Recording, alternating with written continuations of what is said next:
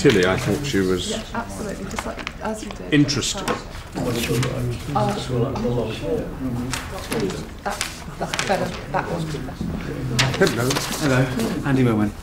Andy, do sit down. It's a pleasure to meet you, Sir Ian.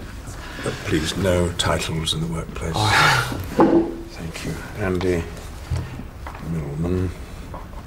Good. Good. Not much theatre work of late. No. Oh, that's fine. That's you're in good hands here.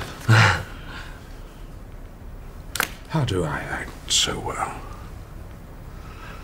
What I do is I pretend to be the person I'm portraying in the film or play. Yeah. You're confused. No, it's- perfectly simple. Uh, case in point, Lord of the Rings. Little Peter Jackson comes from New Zealand, says to me, Sir Ian, I want you to be Gandalf the wizard. And I say to him, You are aware that I am not really a wizard. And he said, Yes, I am aware of that. What I want you to do is to use your acting skills to portray the wizard for the duration of the film. So I said, okay. And then I said to myself, hmm, how would I do that?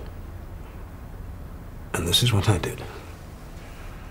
I imagined what it would be like to be a wizard, and then I pretended and acted in that way on the day. Yeah. And how did I know what to say?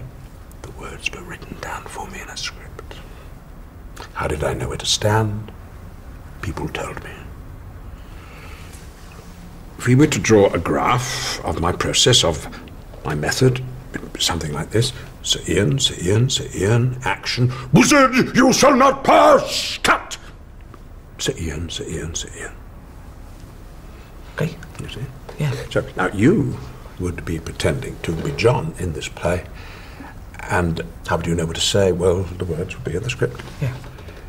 and you would learn the words. You would not have the script on the night, and that goes for everybody. There will be no scripts on the night. You learn the words. Yeah. No, I speak speak them as if you were saying them for the first time. I didn't think we would have the, the script. No, but you night. won't. No, I, Because if you did have the script, it would break the illusion, and the whole thing is illusion. Do you see? You are not really John.